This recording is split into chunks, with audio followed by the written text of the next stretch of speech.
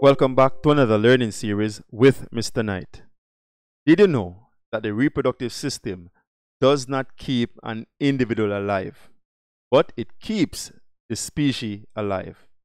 Today, we are looking at the male reproductive system. We are going to focus on the protective sac, the testes, the ducts, the accessory glands, and the penis.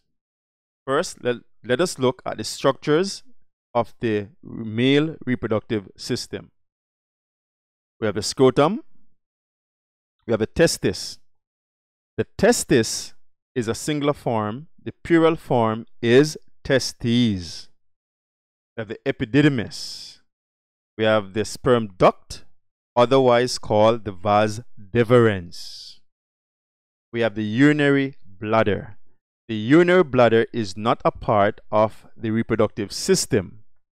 It is a part of the excretory system. However, it is connected to the urethra, and the urethra is a part of both the excretory and the reproductive system. We have our prostate gland, we have the seminal vesicle, we have the Cowper's gland, otherwise called the bulbourethral gland. We have the urethra and the penis. Now let's look at the protective sac. The protective sac is also called the scrotum or the scrotal sac. The scrotum is very important in providing protection for the testes it is very important in maintaining the proper temperature for the production of sperm. It does this in two unique ways. One, if the time is very cold, the muscles within the scrotum, they will contract, causing the testes to ascend toward, towards the body where they will become warmer. If the time is too hot, or warm, then the muscles within the scrotum, they will relax, causing the testes to descend and move away from the body. This will cause the testes to become cooler. It is very important to note that sperm cells are produced at temperatures lower than the body temperature. In fact, it is estimated that sperm cells are produced at temperatures approximately 1 degree lower than the body temperature.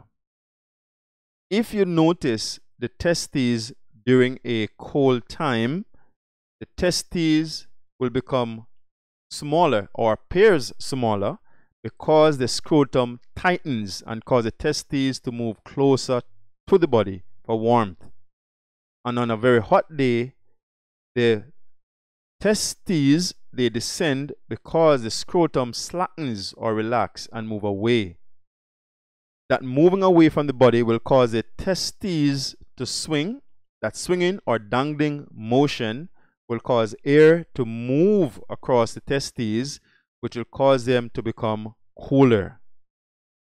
It is important to note that sperm cells contain delicate proteins and enzymes and if the temperature is too high, then the high temperature will cause the, destruction or denaturing of sperm cells and the enzyme.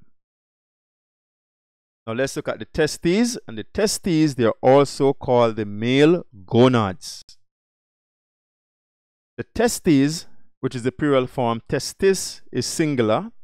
The testes contain seminiferous tubules and they are very important tubules inside of the testes.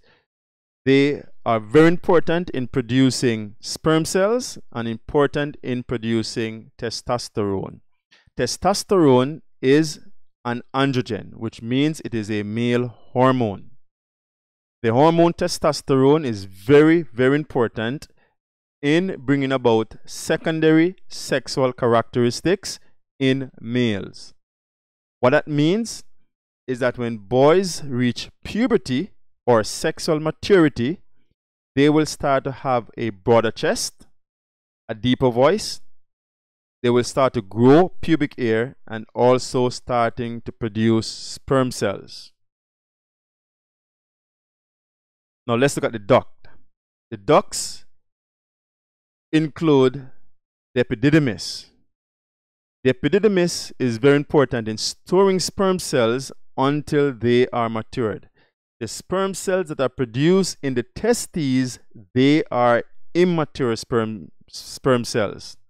However, by the time they travel into the test, into the epididymis, where they are stored temporarily, they will eventually become mature and ready for ejaculation.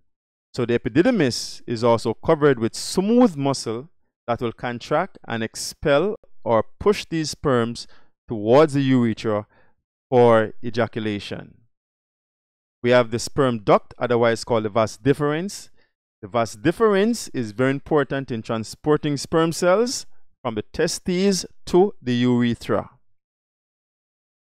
The urethra is very important in transporting sperm cells to the outside of the body by means of ejaculation. As mentioned before, the urethra is a part of both the excretory and the reproductive system. It therefore means it also is responsible to expel urine from the body or excretion of urine. Now, point to note is that sperm cells or semen do not mix with urine because urine is very harsh for sperm cells. Urine is acidic, and the acidic nature of urine can destroy the sperm cells and also the enzymes present in the sperm. Now, the accessory gland, the accessory glands, they are very important in assisting the sperm cells. Now, the, the, the accessory glands include the prostate gland, the seminal vesicle, and the Cowper's gland. The Cowper's gland, again, is also called the bulbourethral gland. I'm going to point out something right here. Notice where they are located. The, the Cowper's gland, they are located, are attached to the urethra. Hence the name urethral gland because of the attachment to the urethra. These glands are very, very important in producing fluids that will nourish sperm cells and also provide a medium for the sperm cells to swim. Very important to note that a mixture of sperm cell and the fluid that, are, that is produced from the accessory glands is known as semen. Semen is what you see coming from the penis when males ejaculate. You cannot see sperm cells because they are very small and can't be seen with the naked eyes. Now, the penis. The penis contains two major parts the shaft and the head. The head is also called the glans. Notice there is no D in this glans.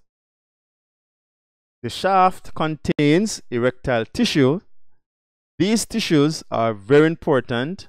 When they are filled with blood, the penis will become erect and is able to penetrate the vagina for the deposition of sperm cells during sexual intercourse.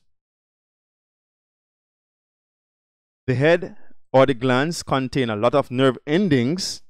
When the head is stimulated enough, these nerves will send signal to the ducts, the epididymis, the sperm duct, and the urethra that will cause ejaculation of semen.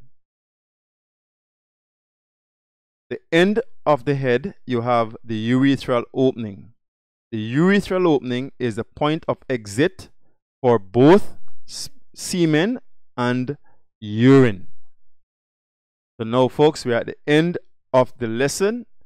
I hope to see you in the next lesson. So be safe until then.